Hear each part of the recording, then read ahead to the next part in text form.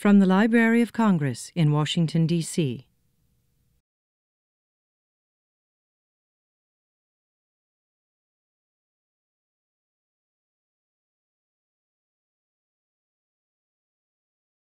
Good afternoon, everybody. I am Carolyn Brown, Director of the Office of Scholarly Programs and the John W. Kluge Center here at the library. And it gives me great pleasure to welcome you this afternoon for a lecture by Dr. William Smyser, professor, a diplomat, and I think it's fair to say an authority on foreign affairs. Uh, Dr. Smyser uh, will be speaking on this subject, Is Diplomacy the Answer? um, and looking at sort of the question does the U.S., as a long standing superpower, need a diplomatic strategy to protect and advance our interests in the new world? Um, before proceeding, let me ask you to please turn off any electronic devices that will that might go off or buzz or whatnot. Um, and we ask that you turn them off because they can actually set up electronic interference that will uh, interfere with a recording. Um, also be aware that if you ask a question, you will be recorded for all posterity. Today's lecture is being sponsored by the Office of Scholarly Programs and the Kluge Center. The Kluge Center was established in the year 2000 uh, from a generous gift by John W. Kluge, uh, and the purpose is to advance and support advanced research in the collections of the library, and also to provide a venue on Capitol Hill where scholars can meet informally uh, with members of Congress. It helps wonderfully to be right across the street. Um, we also provide research opportunities for uh, fellows who are just starting out on their academic careers, um, as well as then lectures and small conferences and seminars. Um, if you haven't signed up for email notification of not just our events, but other events at the library, you might want to do so. If you go to the front page of the library's web, uh, webpage, www.loc, um, on the lower left-hand corner, you'll see a, a, a, a button you can click for email alerts, and then you can sign up for whichever particular programs um, you'd like.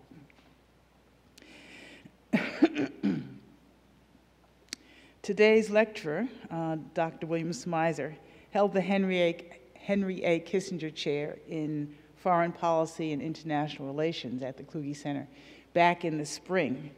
Um, during his long career, he's had actually a, a very interesting variety of um, organizational experiences working with the US government, uh, the United Nations, in foundation management, and in academia. Uh, he lived in Germany in the 1930s, served in the US uh, forces in the 1950s, um, later in the 1960s was a political counselor at the American Embassy in Bonn. He was an advisor to the US delegation to the Paris peace talks on Vietnam in 1969.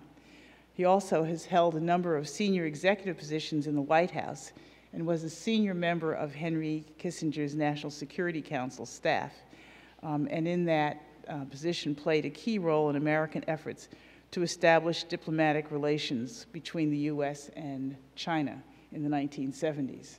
Um, if you ever have a chance to buttonhole him for lunch or for cocktails or something else, the store of amazing stories um, will actually deeply inform you and also delightfully entertain you. So I recommend that if you can catch it. Um, currently, Dr. Smyser is an adjunct professor in the BMW Center for German and European Studies at Georgetown University.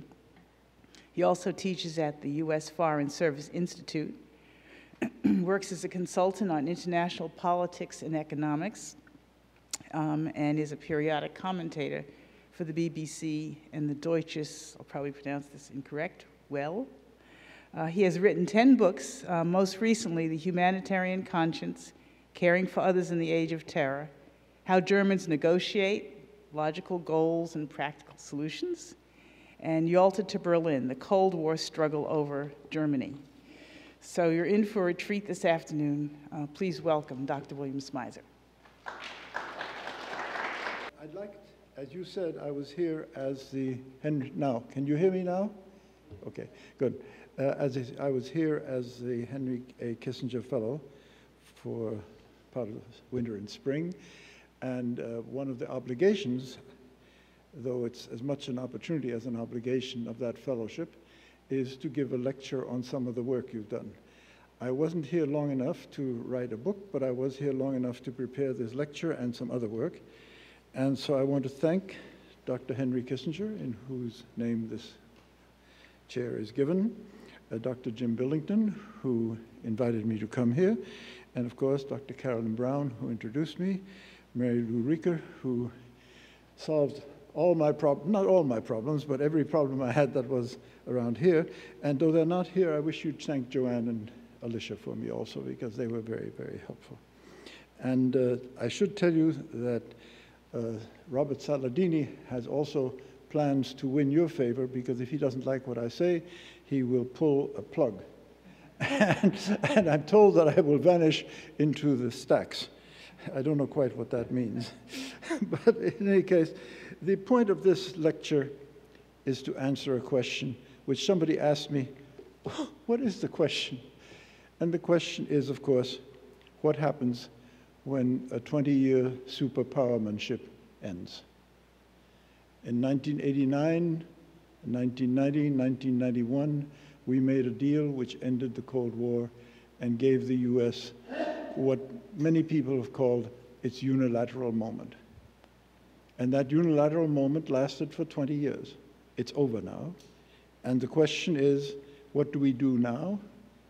And is diplomacy part of what we must do now? The economy is now number one concern. If Mr. Obama is elected president, it won't be because people think he's a charming person to run foreign affairs. It'll be because people are desperate about their jobs and about the economy. So this is a factor that the U.S. also has to consider. We cannot afford some of the things we used to afford. Now, I was just talking at lunch today to an old friend who's gone back and forth between Germany and the United States and Europe and the United States many times. And he said that all over Europe, people are hoping for a change in the United States. People feel that America has lost its moral authority. I'm sorry to have heard that from him. But he says we have to do something different and something new. Now, this lecture is not intended to be political.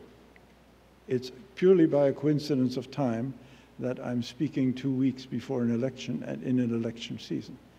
The lecture was prepared and scheduled long before that. But nonetheless, if there is anybody who thinks there's a political element in this, please understand that it is not intended as such. What I'm saying is good for whoever may be president, whoever may be secretary of state, or is bad for them. That, of course, is their question. We have had eight years of the fight against the axis of evil. But war without diplomacy has failed, or is failing. And a pure military victory is now impossible. One of the things we have not understood yet about asymmetric warfare and I first learned this when I was serving in Algeria, when the French were trying to deal with the insurrection of the Algerians.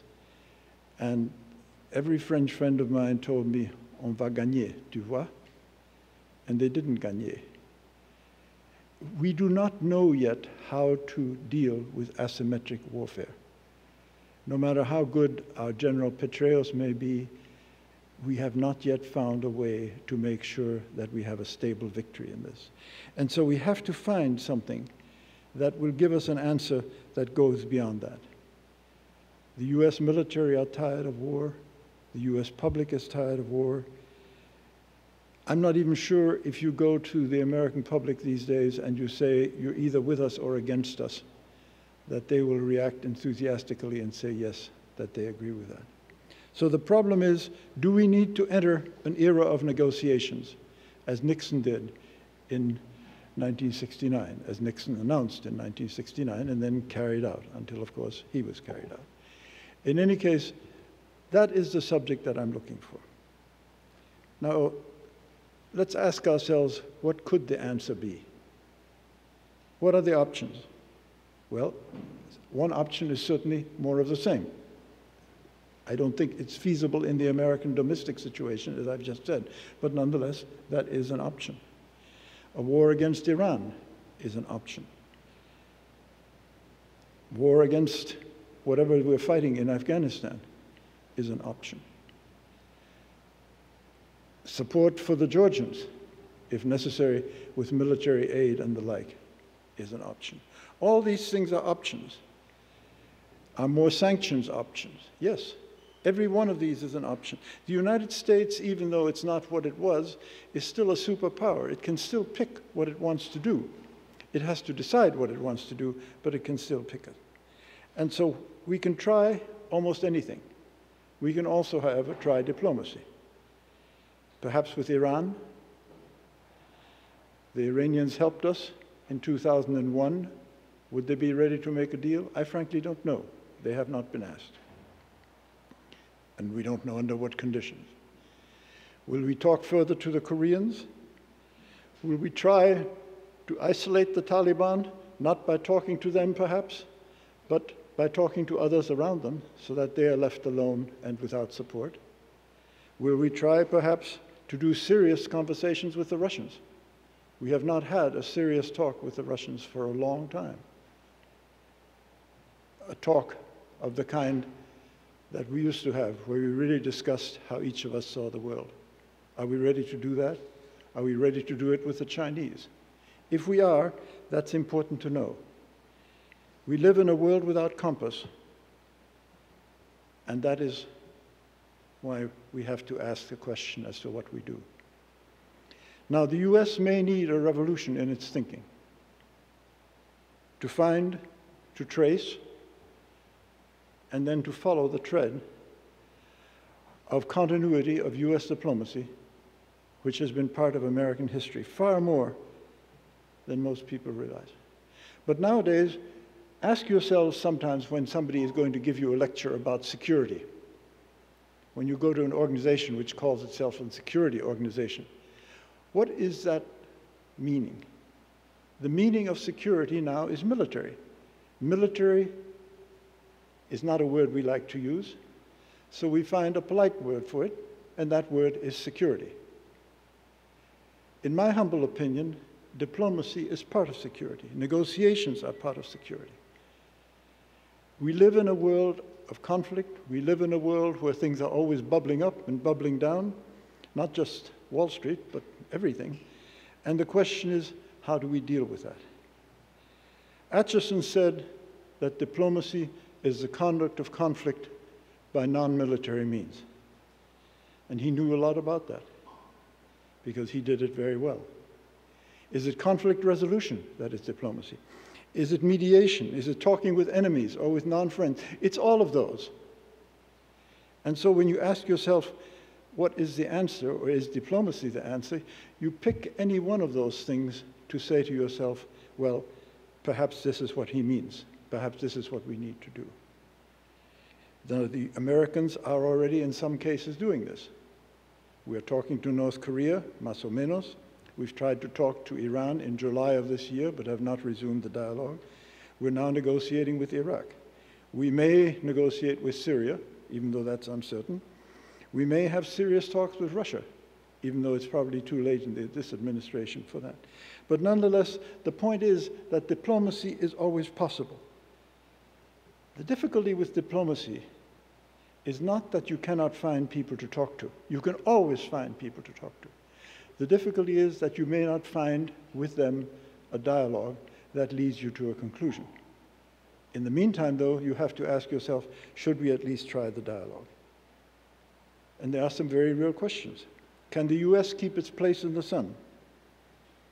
Can the US sell it to its own people if it makes any kind of deal? Look at Carter and Ford. Both of them lost their presidencies, lost the continuity in their presidency because of failures of diplomacy. So it's not something that is guaranteed to give you success. And of course, there's always the question, can you talk to terrorists? And that's a question that gives everybody pause, and it gives pause for a whole host of very good reasons. I'm not necessarily advocating that. I think diplomacy can isolate terrorists. It may not be possible to talk to them. But nonetheless, the point is that the question is what is in your heart of hearts? What do you want to do? Where do you want to go? And that is the question that I pose. The greatest problem, however, in my opinion, is you cannot fight the war on terror with one hand tied behind your back. You cannot use only the military option because you will fail. So diplomacy has to be part of the answer somewhere. I don't know where, and I'll ask, I'll offer a conclusion later. But my theory is that it has to be part of the answer. Now, I might add, and this is important, that diplomacy gives no right to be careless. This is not a question. I've been involved in preparation for negotiations with a lot of major countries, like the Chinese and the Russians, with a lot of not so important countries that were important at the time, like Vietnam. And believe me, you do not go into those things lightly if you want to have success. It's not just a question of getting up one morning, getting a 707 or whatever you now fly, going somewhere and saying, let's have a chat. You need to know exactly what you want. You need to know exactly what you're ready to offer. You need to know exactly where you go. So when I say, is diplomacy the answer, I'm not saying it's the easy way out. It's not the easy way out. It's a way out that avoids certain risks, avoids certain dangers, but has others. And that's the problem. Now, are there advantages to diplomacy? In an odd way, it's often in what it is not. One time in 1971, I was down in the sit room, the Situation Room at the White House for another one of these interminable meetings, which go on there all the time. And Alex Johnson, who was then the Undersecretary of State for Political Affairs, said to me, You know, Dick, I'm so tired. He said, I come to this sit room at least once a week, sometimes twice a week, to deal with one problem or another. And I know that I'm exhausted with the problems, that other people are exhausted with the problems, that the American people may be exhausted with the problems, and still we have to find an answer. What was he talking about? He was talking about war. What I couldn't tell him is that the previous weekend I had been in Paris negotiating with Le Duc Tho for a settlement on Vietnam, while he was, in fact, trying to figure out a military solution. This was the Kissinger Doctrine talking about the Kissinger chair. The Kissinger doctrine was yes, you fight, you continue the fight, but you also open an avenue. And that's what I mean when I say you have to have careful preparation, you have to know exactly what you're doing. But the risk of exhaustion if you don't have diplomacy is there. The constant tension. In asymmetric situation, there may not even be a military victory. Look at Napoleon. Look at Hitler. Look at the czars. They exhausted their countries in war. France has never been the same since Napoleon, even under de Gaulle. And even though most of the French soldiers, quote, French soldiers, unquote, who died in the Russian campaign were probably Germans. The point is, there is a limit to what a nation can endure.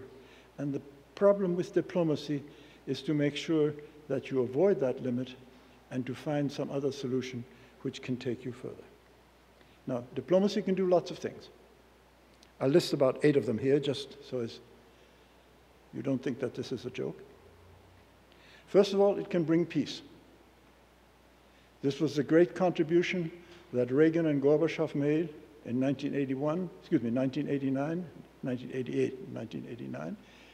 It was a contribution that the people of Berlin made, of East Berlin, when they leaped over the wall. It was the contribution that Baker and the first Bush and uh, others then made, Kohl, the German, made to find a solution to the German problem and to the European confrontation. That is what I mean by bringing peace. It can prevent and avoid war. I've read the transcript of the conversations in the sit room and in the White House room during the Cuban Missile Crisis. People are correct when they say that we were within inches of a war. And there were people on our side recommending it, recommending attack, and we know by now that there were people on the Russian side probably recommending attack. We don't know all of the story. Diplomacy prevented the war, which is a good thing. Diplomacy can build alliances. This was Secretary of State Marshall's and Secretary of State Acheson's great contribution after World War II. It can arrange defense, as in NATO. It can offer maneuver. Again, if I go back to Kissinger, when he wanted to concentrate the minds of the Soviets, he maneuvered around by going to China. Before he went to China, he told me every conversation with Dobrynin was difficult, to put it mildly. And conversations with Gromyko were, of course, impossible. But that didn't change. But then he said after he went to China, Dobrynin came to see him and never stopped smiling. Now, again, Gromyko didn't change his tune until he became president, which was a different thing. But nonetheless, the point is maneuver helps. The most brilliant political maneuverer, perhaps, of all time was Bismarck, who used diplomacy, to his mind, very constructively to isolate Germany's enemies. That was something that diplomacy can achieve. Diplomacy can sometimes get you support. Look at Ben Franklin, who went to Paris during the American Revolution. And the next thing you know, the French fleet appears opposite Yorktown. And the next thing you know, the US gets money from the French. That would not have happened, even though the French were very sympathetic to the Americans, if Franklin had not been there, if he hadn't given them a chance to talk to him, and if, by the way, he hadn't also at the same time talked with the British envoy so that the French knew that they were not the only option. That's conducting diplomacy that I'm talking about. Sometimes diplomacy is an expression of idealism, Edward Wilson, and sometimes it does nothing more than involve others and give them a stake in what you want and in what you reach. And that can also sometimes be important. The point is that it can accomplish many, many things if you use it properly. Now, it has its complications, there's a domestic price to be paid. I'll come back to that. If you're dealing in a, in a war with terror, it may lead people to underestimate what your determination is. So there's an international price, there's a local price. It may not win you friends always, it may only win you enemies. So it is not a clean, clear cut decision. That's why I say that you should always prepare carefully. But the real problem, and this is the problem that the next president will face, is the problem of public opinion. American culture does not like diplomacy. I conducted a career as a diplomat, and I can tell you that doesn't even like dipl diplomats, except as individuals. As individuals, they're very nice to us. But most Americans are distrustful. Uh, I talked a few days ago, I was having a conversation with a former ambassador, former American ambassador, and I said I was going to give this lecture. He said, That's ridiculous. He said, This is absolutely useless, Dick. You shouldn't do it because you know very well that Americans do not want diplomacy, they do not like diplomacy, they do not appreciate what diplomats can do. It's a total waste of time, and you should find another subject. Well, it was too late for me to change at that point, and I apologize. But there we are. But look at the movies. Look at television. He observed the military, the CIA, the FBI, even AID officials get positive comment, or humanitarian officials, which I used to do. And whenever I went to the Congress, I still remember, they loved me because I was doing, I was helping refugees. And one congressman said to me, Dick, you're doing the work of God. Now, he didn't say that to me because I was doing diplomacy. He said it to me because I was helping people. in desperate humanitarian situations. So the point is there are heroes internationally, but diplomats, foreign service officers, are not one of them. FSOs may do important things, but they're not thanked for it. We have in this country a visceral fear of appeasement. And there are two code words for this. One is Munich. How many of you have heard of Munich? And what have you heard about Munich? You've heard about Chamberlain and appeasement and you know how he gave it all away and so on and so forth. If I mention Yalta, what have you heard about Yalta? Poor Roosevelt was sick. He gave it all away. Both of those are strong arguments against diplomacy, and they are constantly reiterated. Now, Truman could have turned Yalta around very easily. He could have solved the problem of Eastern Europe. All he had to do was tell those few hundred thousand American soldiers in Europe to remain, send another 500,000 with them, confront the Soviet Union, tell the, Brit the new British government, which had been elected to conduct a social policy, that they would have to go back to war with us, and tell Charles de Gaulle that he should not fight Germany anymore but Russia. I don't know how long it would have taken for him to be impeached. Probably not more than a few weeks. But the point is that diplomacy does not win friends per se. Sometimes a success wins friends. I mean, when Kissinger and I came back from China, by God, everybody thought we were wonderful. And Kissinger based his reputation since then very largely on that trip, though there are a lot of other things that added to it. Why? Not because he was doing diplomacy, but because he was a lone cowboy venturing out into uncharted territories, into the mysterious East. This is the way people think. It's the way Americans think. And it's very difficult. It's also important to remember, as you listen to your radio and to your television, that the military industrial complex that President Eisenhower warned against will always flood the airwaves with ads for weapons, with ads for confrontation, with ads for one or another, quote, security arrangement, unquote, which has a military character. There is no comparable lobby for diplomacy. And so, diplomacy is not part of American grand strategy. And even though American public opinion may occasionally support one or another deal, they will not necessarily support diplomacy as an instrument, nor as something that you can do.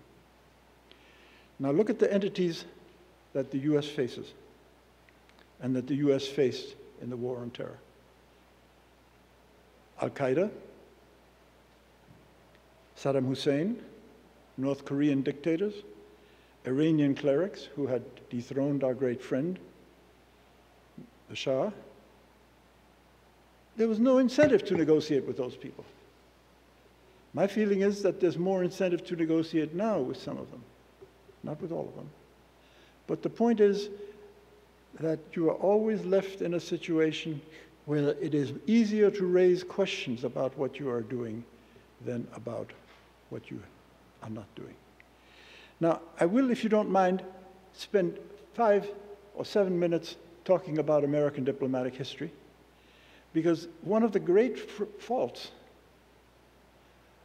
of most Americans is that they don't realize that our diplomacy has actually been pretty successful. We criticize diplomacy, but in fact, it's achieved a lot for us. I talked earlier about Ben Franklin. Even before Ben Franklin, the French were interested in supporting us. I mean, we would never have won the war, the Battle of Saratoga, without French weapons. But it was Franklin who got money. It was Franklin who got the, Brit who got the French fleet. It was American diplomats, and incidentally, uh, Adams, who was there at the same time, spent more time fighting with Franklin and vice versa than they did dealing with the French. But nonetheless, that was not the point. The point is that there is something that you can achieve. Look at the Civil War. During the Civil War, one of Lincoln's great efforts was to make sure that the British did not recognize the Confederacy as a separate state. And there were many people in England who advocated that, because after all, they had a lot of trade with the Confederacy, particularly in cotton. They didn't like slavery, but nonetheless, they wondered if this wasn't the deal. And so Lincoln sent a man called Charles Adams, not the cartoonist, to Paris. He worked very hard to dissuade the French.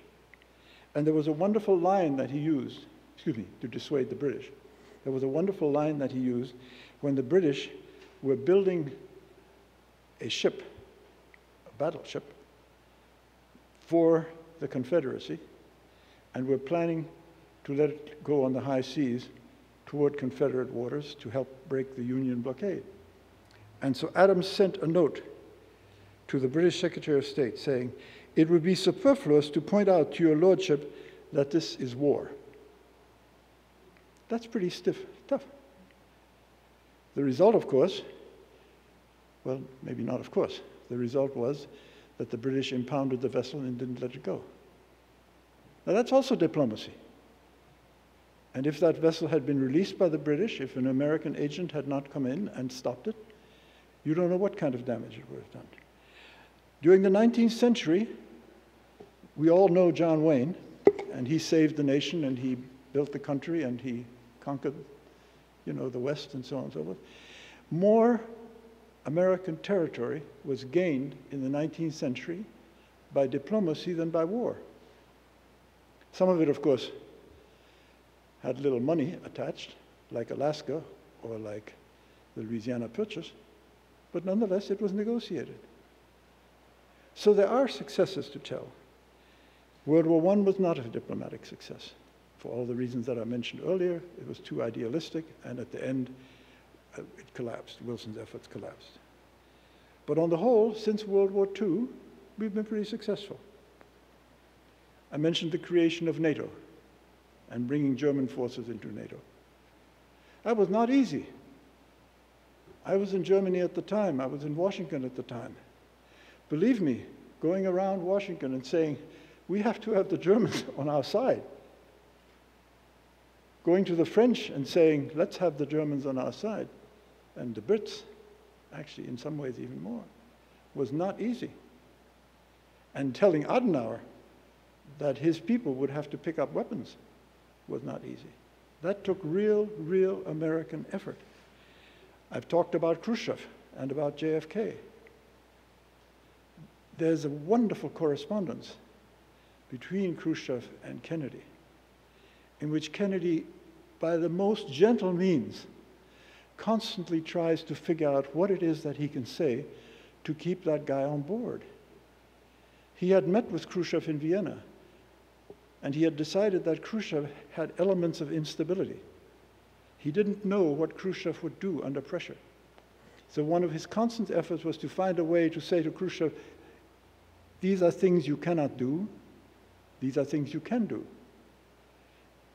Averell Harriman, who always hated when anybody called him Ambassador Harriman because he didn't want to be associated with the State Department. He always loved it when people called him Governor Harriman and he loved to be called the Gov. If you went to him and said, Mr. Ambassador, he kicked you out of his office. But the point was that Harriman dealt with Khrushchev, and so did several other career, so did several career American ambassadors. And the problem was always to keep a man like that in a stable situation so that you could make a deal with him. That was a triumph of diplomacy.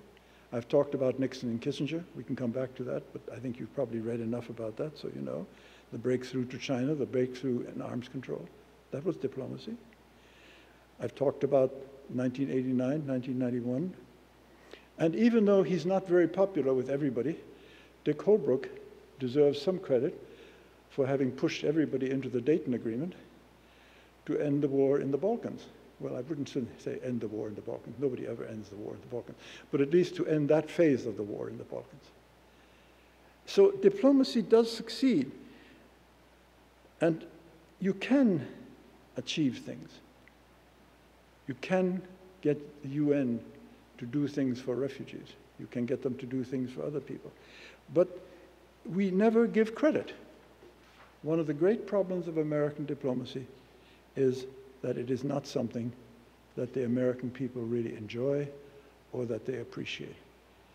And so my friend, the ambassador, was right when he said, Dick, you know, you're wasting your time. But I still think it's worth at least looking at this because the option has to be considered. Now, is diplomacy the answer? It's not the full answer, obviously. Diplomacy is never, never, never powerful and possible even if it's on its own. You have to have some kind of political component. You often have to have a military component or accompanying your diplomatic effort. But nonetheless, the point is that it has to be part of the answer. Security has to be a mix of military and diplomatic effort. If you don't do that, you exhaust yourself, you exhaust your treasury, you exhaust your people. Without diplomacy, no change in the world is possible except through war. With diplomacy, things are possible. I don't say that they're easy. I certainly don't say that. I don't even say that they're always possible. But without it, you cannot do it. That's me. Thank you. I think I open it now to questions. How do you want to organize this, Karen? Okay. May I recognize people?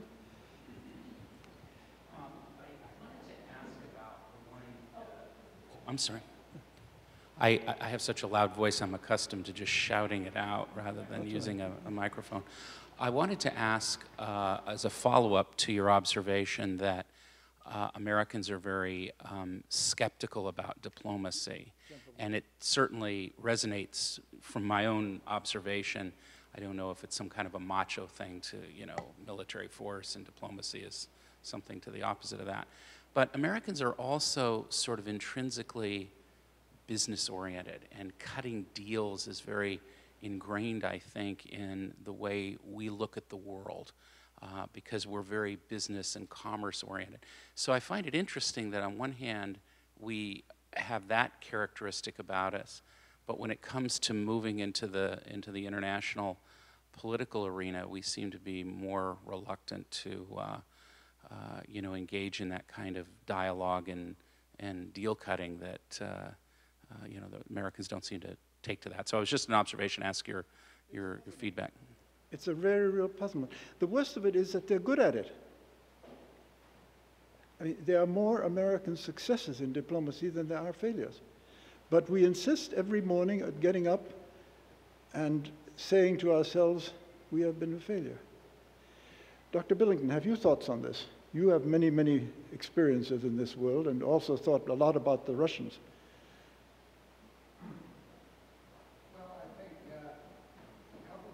One is that um, uh, the uh, you take a look at the other aspects of international relations besides the military and the strategic and the narrow sense of the word. The most popular way of discussing it these days is a term that defeats its public acceptability by the the label soft power. It's actually rather a good book with a lot of good ideas, but you, you start to talk to a broad public and say, we need more soft power. And in, in a country that's, that's, whose metaphors are formed largely by athletic contests, um, the idea of a kind of a soft hitter uh, or somebody who throws softballs uh, is, just doesn't uh, resonate very well with a popular audience. Now, I, I think the other problem in diplomacy is the way in which you were offered the, the business about deals. deals are made by people who have something that they own and something that they want. Uh, deals in the American context are made by lawyers who are paid to argue whoever their, whatever their case is, uh, and are inclined to want to settle halfway between what they want and what the their other person wants, uh, rather than to press hard for one side. Uh, I remember one of the things I don't want to pick on individuals because I think these are we have very dedicated people doing this, but I can't even remember who it was. I think it may have been Christopher, one of the one of the people who were trained as a lawyer, and the uh, I remember attending a seminar like this about diplomacy, and somebody came up and said, well, he went to Syria 14 times or something like this and came back with nothing. um, that's one criticism. The other criticism is that if you are going to be basically inclined, if your task is to settle halfway between what you want and what the other person wants, it invites the other person to make extravagant demands, knowing in advance that, that that's the way to get to, to do much better than you would do if you were doing it between somebody who has a pile of this and, and is negotiating with somebody who has a pile of that. So I think that the, the part of the problem with diplomacy is you need lawyers, lawyers' negotiating skills. Uh, but when lawyers uh, are doing it, there's this suspicion that uh, these people are more interested in settling halfway than in pressing the maximal case. So how do you get people to both respect this essential uh, practice of statecraft and at the same time um, uh, reassure them that somebody is really getting doing the best that possibly can be done under the circumstances rather than juxtaposing hard power with their soft power or justifying, I mean, that I think is the basic problem of, uh, of conducting diplomacy in a very wide open democratic society like ours, where everyone uh, kibitses and where the reporters are inclined to report it in terms of wins and losses rather than in the alternative that would be true if you didn't have this kind of a process going on.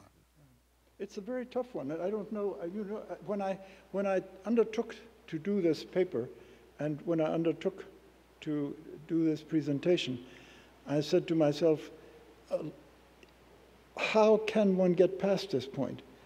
Your suggestion may, may make more sense than any other, but I just don't know how one does it because I think we have to go in that route now.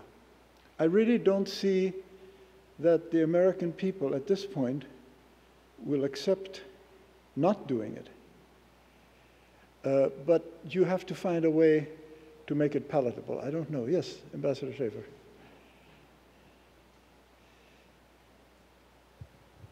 Thank you. I'm Teresita Schaffer, and I am Shudder, a retired diplomat. Yes, well, uh, I'm also your successor in the Henry Kissinger Chair and enjoying the wonderful hospitality of the Library of Congress for a few glorious months. I think the difficulty you have in arguing for diplomacy is that arguing in the abstract leaves it all sounding horribly mushy. Mm -hmm. And that it becomes more interesting and more and easier to grasp, albeit a whole lot harder to do, if you look at a specific case where you can talk about specific, specific objectives and the tools you deploy to meet those objectives. Now, I don't know if you feel like venturing into hypotheticals, but if I were to appoint you special envoy for dealing with Iran, there's lots of things we might have going with Iran, terrorism, uh, nuclear program, Afghanistan, participation in the world. Um, how would you how would you structure the objectives you were going after? And what how would you go about it? How would you expect them to respond? Now the answer to that is probably a book. Somewhat akin to the one you did on Germany and the companion to the one I'm going to be doing on Pakistan eventually. But it seems to me that that's where you get the interesting answers that actually might capture the imagination of people in this country who can see that there's a problem that you're actually taking a rational approach to uh, trying to solve. Yeah, it's an interesting approach. And it, it, makes, it makes sense. Uh, it also goes back to what I said about how difficult diplomacy can be. You have to think, I mean, especially with somebody like the Iranians, who were once a great power and who still think they should be recognized as such. One of the most important principles of successful diplomacy is the recognition of parity. I remember when we were in Beijing, or Peking as we called it then, one of the Chinese said to Dr. Kissinger, Will you shake Mr. Zhou Enlai's hand? Because in 1954, at the Geneva Conference, John Foster Dulles had not shaken uh, Zhou Enlai's hand, and Zhou Enlai had been mortally offended. And so one of the things that Kissinger absolutely had to do was to walk up to Zhou Enlai with his hand extended. The recognition of parity, of equality, is one of the most difficult things, especially for a superpower. When you deal with people like the Vietnamese, like the Cambodians, who are small countries, you know, we can gobble them up in five minutes. But, but, but, but, they regard themselves and they take themselves very seriously. If you are not prepared to recognize what they think as legitimate, whether it's wrong or not, that's not the point. Whether you think, whatever you may think, you have to convey the sense that you take them seriously. And then you have to convey the sense, and this is for your own use as well as for anybody else, that you have a sense of priorities. You can never get everything you want. Never can. But you have to have a sense of priorities. Now, sometimes you promise a lot and then don't deliver. That was one of the problems that happened in 1989 and 1990 with, uh, with uh, Gorbachev. And uh, it's one of the reasons Putin is mad at us, because he thinks we promised things that we violated. But you have to know in your heart of hearts what it is you really, really, really want, and then you have to know what it is the others really, really, really want. I mean, you worked in one of the most beautiful countries in the world, Sri Lanka, which is a country torn by war. And when I was here at the center, the center was kind enough to give me an intern to work with me. And I asked that intern to look at several cases of countries that had tried to negotiate with their own internal dissidents and what had happened. You know, in Ireland it worked, for example. Uh, there was a deal made, uh, and Clinton played a role, and Blair played a role, and a number of others played a role, and it worked. And so I asked this intern particularly to uh, say, why has the Sri Lanka case not worked? Now, I'm not going to ask you to comment on that in great detail. You can shoot down what I say, but what she came up with was that there was never a fundamental agreement, despite all the talk, about the crucial question of sovereignty. The Ceylonese, the Sinhalese, were not prepared to concede sovereignty to the Tamils, the Tamils were not prepared to accept a deal which did not give them some kind of sovereignty. I frankly don't know if that's right, because I didn't study it. She studied it. But nonetheless, what that brings to mind is that the best diplomatic effort can fail if the sides never meet in the middle or wherever it is they're supposed to meet. But nonetheless, the question has to hang in the air, is it worth a try? And that's a question that we can't answer. In my humble opinion, it will be worth a try. In my humble opinion, it'll be necessary to try. But there we are.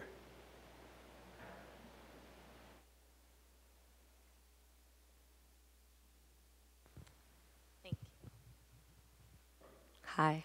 Thank you for coming. I won't I won't stand. I found everything that you said very interesting, especially the um, specific part about what tends to be, I guess, uh, the American public's um, negative perception of diplomacy. And I, I, was wondering if you might comment on what might be ways in which, you know, maybe it's not something to be centralized or really meant for the federal government to do, but to lay the groundwork for, um, I guess you might call it like a more cultural appreciation, something along the lines so that the American people won't necessarily just view diplomacy as this abstract concept, which is bad, but view it on a more localized level, say like, well, we don't really understand the Chinese people or Chinese culture or Iranian people or, excuse me, Persian people. So I did read in the New York Times kind of over the summer that, and you talked about the military-industrial complex. That you know, for the price of one F-22, I believe it was, we can open up um, a consulate or like a small place in each single province in China for 25 years. We can run in each province, wherein you know people could travel there, learn Chinese, English, either way, and that we can bring back lessons with us. And I wonder if that's an important part of like our future in diplomacy is really starting to like embrace people's differences. You have a real point, which is that it's worthwhile, at least in backgrounders and other ways, to let people, or some people, know what you're thinking. In, China, in the China case, we could not do that. If, if Nixon had said, I'm going to send Kissinger to China, two things would have happened, both bad. One was that the China lobby in the United States, which is a very important lobby, would have risen to attack that and attack it so violently that it would have been difficult to send anybody. The second thing that might have happened is that the Russians might have attacked China. The Chinese were more nervous than we were about having this come into the open before the meeting took place. Because they said if you, they didn't say that, they never say it, but you had the distinct feeling that they were very worried about what the Soviets might do if they knew that there was going to be a contact. After all, there had been already some Soviet attacks on Chinese territory, and they just didn't know. So the point is, what you have to do is, first of all, there has to be a public mood that accepts it. The American public at that time was tired of war in Vietnam. They were tired of all the things that had been going on. The China opening seemed like something new and bright. If you're going to do something, you always have to make sure in your heart of hearts and in the heart of hearts of the American public that it will merge with the mood of the moment. The mood of the moment now is very different from what it was in 2001. So you may have a better chance. But that has to be part of it also. So you're, you're faced with a very difficult situation of trying to navigate between the poles of public acceptance and the poles of public rejection. And they're both always there. And I cannot predict at any given moment how the public will react. And neither can anybody else. That's the problem. Now, Harriman was convinced. Harriman went to Kennedy and said, I can get a deal with Khrushchev and the American people will accept it. Now, Kennedy had enormous respect for Harriman. And uh, he knew that, Ken that Harriman knew more about American public opinion than Kennedy or, you know, 900 million other Americans did. So he could listen to Harriman and say, okay, but that, you have to have that kind of, that kind of backing, that kind of understanding. There was a question back here. Yes, sir.